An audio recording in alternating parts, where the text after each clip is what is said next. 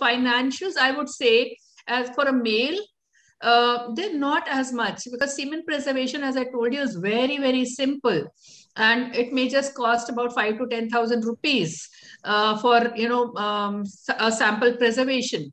But maintenance of the samples, may the cost may change from clinic to clinic.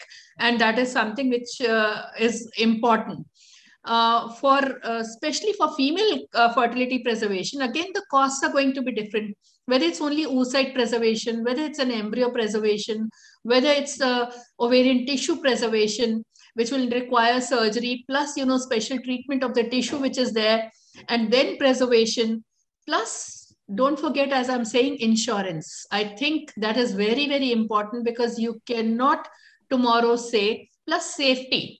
Safety is another very important question. Like, you know, how how is this tissue going to really perform and will it really bring about the problem again uh, so all these the costs will vary according to uh, what we are doing at in what circumstances uh, dual uh, like we do dual stimulation uh, for uh, women who have shorter time in between the surgeries like from she's been operated for breast cancer and there is still time for chemotherapy to start. In between time is utilized for you know preserving as much number of eggs as possible.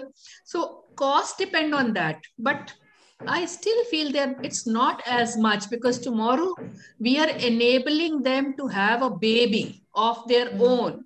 And that is what matters. Because what is one cycle of ivf costing anywhere i mean it's simply that we, are just taking the eggs out or the tissue out and preserving. May, maybe a lakh and a half to three lakh of rupees. Now maintenance as i said in my clinic i can tell you that for two years maintenance we charge 25000 rupees for two years. So people can renew it year after every two years. So it's not as much